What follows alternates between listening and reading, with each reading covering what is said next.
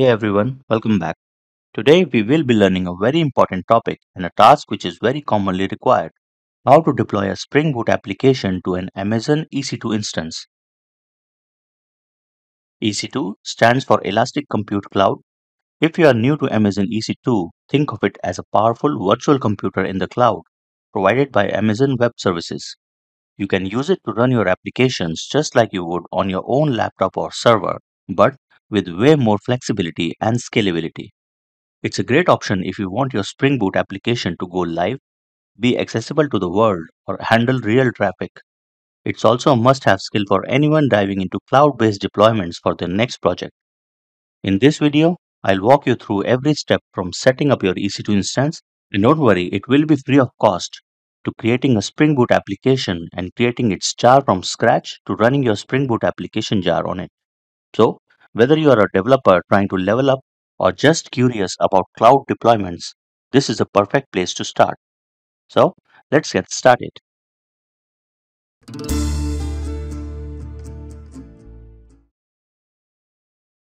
We will start with creating an EC2 instance. For learning purpose, you can create an AWS account and use it free for one year. In the free tier, you can use EC2 for 750 hours per month for free, which is more than enough for learning purpose and hosting an application that runs for some specific times during the day. Log into your AWS account. This is the landing page when you log in. You can find EC2 here. If you don't see it here, search EC2 Click the link. Create a new EC2 instance. Click Launch Instance here. Or you can also click Instances. Here you will see all your EC2 instances. Click on Launch Instance here or here.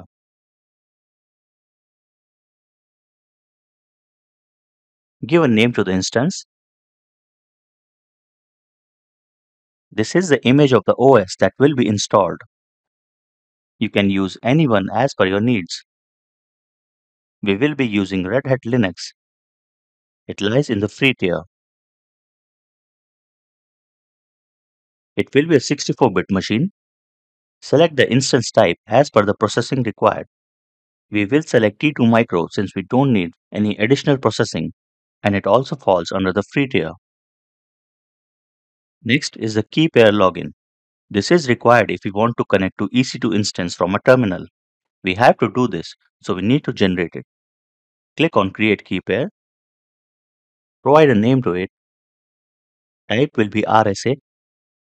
Regarding file format, if you will be using Mac or Windows 10 or higher, then select PEM format. And if you are below Windows 10, then select PPK format. In that case, you need to connect with EC2 using PuTTY. Click Create Key Pair button. This will download a file. Save this to some location. Leave rest of the settings to default. Click on Launch Instance.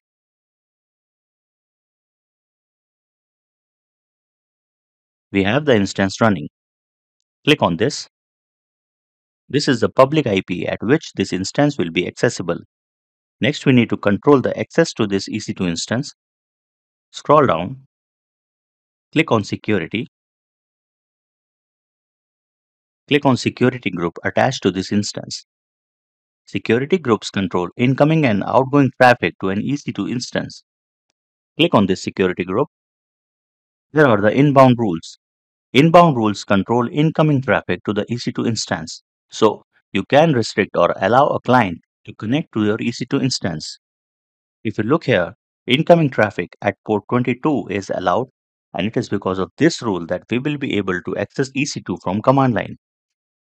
Our EC2 instance is ready.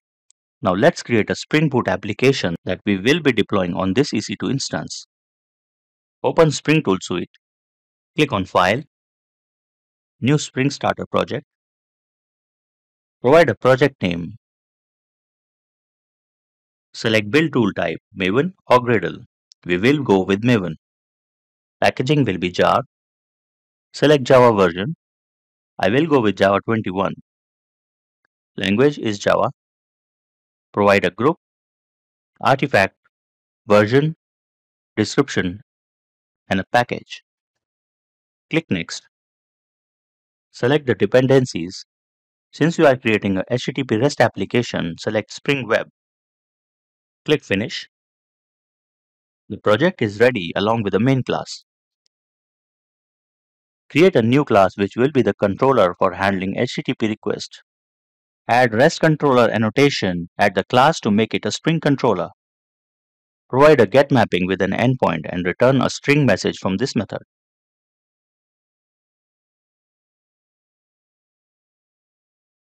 Now, when we access this endpoint in the browser, we should get this message. All this is covered in various videos on this channel. Link of one such video is at the top right corner and in the description as well. Now let's create a jar of this application. Right click the project. Go to Run As, Maven Install. This will download all dependencies, run it and create its jar. Open command prompt and navigate to the location of this project. List all the files. Here is a target folder. List all files of target folder. Here is our application jar. Run it using java-jar command. The application is running at port 8080, which is the default port. Now we need to copy this jar to our EC2 instance. Open FileZilla or any other client such as WinSCP, etc. We will be using FileZilla. To connect FileZilla to EC2 instance, go to File, Site Manager, New Site. Select Protocol as SFTP.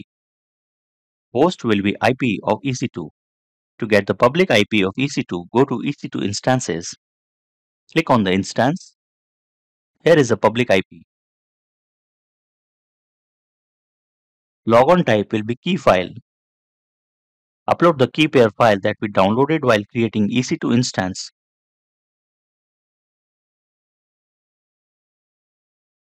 User will be EC2-user. This is standard for all EC2 instances. Click on connect.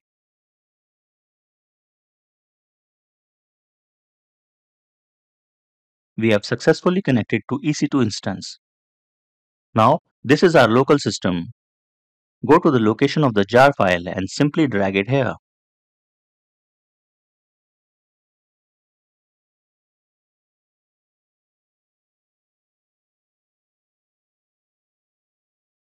The file is copied.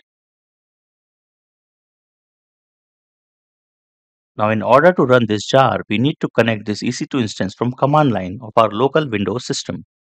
Open command prompt Navigate to the location where you have saved the key pair file for EC2 instance, since it will be required to connect. Type SSH and press enter. If you see this, then SSH is installed on this system. If you do not see this, then we need to use PuTTY to connect to EC2. Clear the screen. Type SSH-i followed by the name of PEM file, which is the key pair file of our EC2 instance followed by the user. Now the user will be EC2-user, which is the standard. At the rate IP of EC2 we need to connect. For this, again go to EC2 instance, copy this IP, paste it here, enter. We have successfully connected to the EC2 instance. Check the current directory with pwd, list all the files with ls, here is our jar file. Remember that this is a Linux system since we selected Linux image while creating EC2. So only Linux command will work here. This is a fresh system so it will not have Java installed, which is required for running the jar. Type Java and press enter. See what it says, command not found. So we need to install Java on this system. We can install it with yum which is a tool on Linux that you can use to install applications. So, sudo yum install java hyphen the version that you want to install. Remember that the version should be same or higher than the version on which we create the jar. Otherwise, the jar won't run. Since we created the jar using Java 21, we need to install Java 21 or higher. You can install any version by specifying it after Java hyphen. This will download and install Java on this EC2 instance. Installation is completed. Let's check the version using java-version command. It is JDK21. Clear the screen. Now run the jar file with java-jar command. The application has started on port 8080. To access this application, we need to perform one more step. Remember about the security group and inbound rules that we talked about earlier. Inbound rules control the incoming traffic to the EC2 instance and by default, all the incoming traffic is blocked. So, we need to add an inbound rule to allow traffic. Go to AWS console again. Here is a security group for this instance. There is only one rule which allows traffic at port 22. It is due to this rule that we were able to connect to the instance from command prompt. Click Edit Inbound Rules, Add Rule, allow traffic from port 8080, which is the port at which our Spring Boot application is running. Allow it from any IP, since we want it to be publicly available over the internet. Save rules. Now there are two rules. Open a new tab. Type the IP of EC2 instance, colon 8080, slash the endpoint that we want to access. This will be home.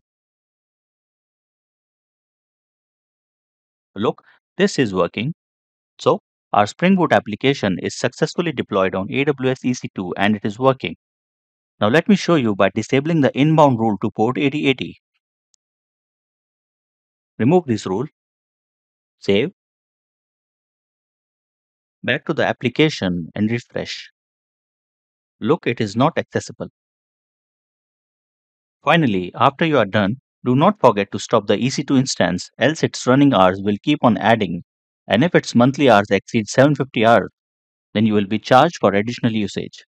For this, select the EC2 instance, click on Instance State, select Stop Instance and click Stop.